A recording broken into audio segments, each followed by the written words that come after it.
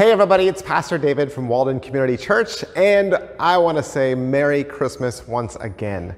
This has been such a joy to be able to share these Christmas devotionals with you this past month, and we only have a couple of days left. I want to remind you about Christmas Eve service. It's this Friday at 5 o'clock. We'll have a candlelight service where we'll have glow sticks for the kids so that everything's safe. And of course, we'll have a special guest after service that would really love to meet your children. Well, we're going to continue on with going through one of the ornaments from our Chrismon tree.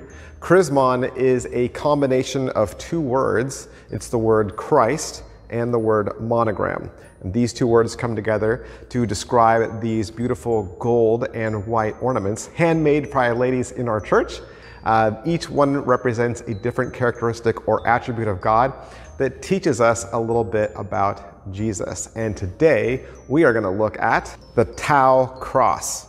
Now, the Tau cross is a T shaped cross, sometimes with all three ends of the cross expanded. And it's called the Tau cross because it's shaped like the Greek letter Tau, which in its uppercase form looks a lot like the familiar Latin letter T.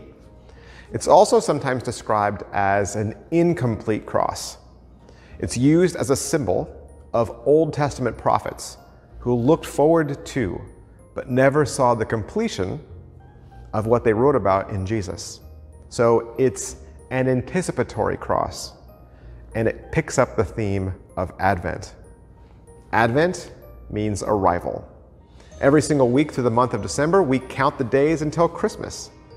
That first Christmas was an Advent. It was the world waiting for a Messiah, the Messiah of prophecy. One of those Christmas prophecies that we often read is Isaiah chapter 7, verse 14. Therefore, the Lord himself will give you a sign. Behold, a virgin will be with child and bear a son, and she will call his name Emmanuel.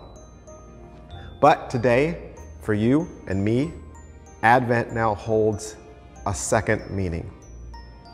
Christ will come again.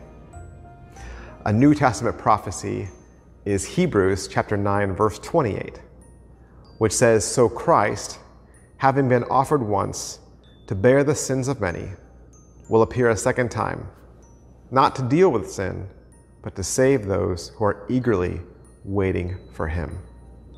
Sure, we're all waiting in Advent for Christmas Day.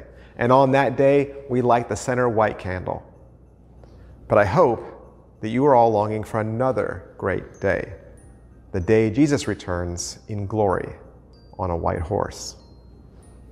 Merry Christmas to all.